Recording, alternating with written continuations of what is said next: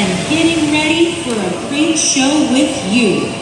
If you'd like to meet and train our famous Raptors, make sure that you head over to the Raptor Training Arena in the next 10 minutes before all the good spots go extinct. See you there!